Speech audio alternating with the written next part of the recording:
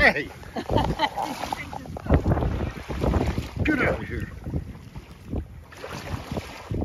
I will smack you. Yeah.